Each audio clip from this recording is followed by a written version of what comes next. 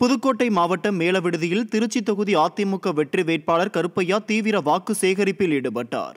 அப்போது பேசிய அவர் வெற்றி பெற்ற பிறகு முதல் வேளையாக கால்நடை மருத்துவமனை அமைக்க வேண்டும் என்ற மக்களின் கோரிக்கையை நிறைவேற்றுவேன் என்று உறுதியளித்தார்.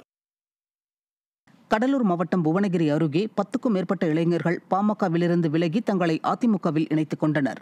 அதிமுக வெற்றி வேட்பாளர் எம். சந்திரகாசனை ஆதரித்து தீவிர வாக்கு சேகரிப்பு நடைபெற்ற போது புவனகிரி அதிமுக சட்டமன்ற உறுப்பினர் அருண்மொழித்தேவன் தலைமையில் பத்துக்கும் மேற்பட்ட இளைஞர்கள் பாமகவிலிருந்து விலகி தங்களை அதிமுகவில் இணைத்துக் கொண்டனர். அப்போது அருண்மொழித்தேவன் அவர்களுக்கு கழக பொன்னாடை அணிவித்து வரவேற்று உற்சாகமாக பணியாற்ற வேண்டுமென அறிவுறுத்தினார். சிதம்பரம் நாடாளுமன்ற தொகுதி அதிமுக வெற்றி வேட்பாளர் சந்திரகாசனை ஆதரித்து கடலூர் கிழக்கு மாவட்ட செயலாளரும் அதிமுக சட்டமன்ற உறுப்பினருமான கே. ஏ. பாண்டியன் தீவிர வாக்கு சேகரிப்பில் ஈடுபட்டார்.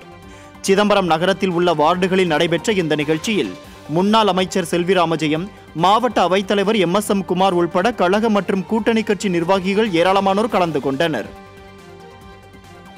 நாமக்கல் மாவட்டம் ராசிபுரத்தில் நாமக்கல் நாடாளுமன்ற தொகுதி அதிமுக வேட்பாளர் தமிழ்மணியை ஆதரித்து நடிகர் ரவி மரியா சாலையோர கடையில் டீ அருந்தி பொதுமக்களிடம் வாக்கு சேகரித்தார்.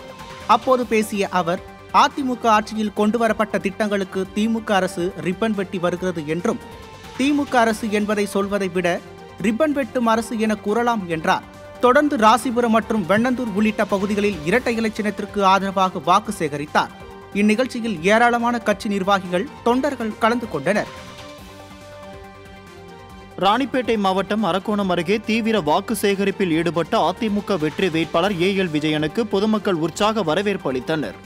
அரிகிலப்பாடி பகுதியில் வாக்கு சேகரிப்பில் ஈடுபட்ட ஏ எல் விஜயனுக்கு அப்பகுதி மக்கள் பட்டாசுகள் வெடித்தும் மலர்கள் தூவியும் ஆரத்தி எடுத்தும் சால்வை அணிவித்து கிரீடம் சுட்டியும் உற்சாக வரவேற்பு அளித்தனர். இதில் பேசிய அரக்கோணம் சட்டமன்ற உறுப்பினர் ரவி ஏ. எல். விஜயனுக்கு இரட்டை இலை சின்னத்தில் வாக்களித்து அவரை பெருவாரியான வாக்குகள் வித்தியாசத்தில் வெற்றி பெறச் செய்ய வேண்டும் என கேட்டுக்கொண்டார் தஞ்சாவூர் மாவட்டம் சக்கரப்பள்ளிக்குட்பட்ட பகுதிகளில் மயிலாடுதுறை தொகுதி அதிமுக வெற்றி வேட்பாளர் பாபுவை ஆதரித்து அதிமுக மற்றும் கூட்டணி கட்சியினர் தீவிர வாக்கு சேகரிப்பில் ஈடுபட்டனர். அப்போது இஸ்லாமியர்கள் வசிக்கும் பகுதிகளில் வீடு வீடாக சென்று அதிமுக ஆட்சியில் சிறுபான்மையினருக்கு அளிக்கப்பட்ட நலத்திட்டங்கள் அடங்கிய விளக்க பிரசுரங்களை வழங்கினர். இதில் எஸ்டிபிஐ கட்சியின் மாவட்ட நிர்வாகி சலீம் உட்பட அதிமுக மற்றும் கூட்டணி கட்சி நிர்வாகிகள் பலர் கலந்து கொண்டு இரட்டை இலை சின்னத்திற்கு வாக்கு சேகரித்தனர்.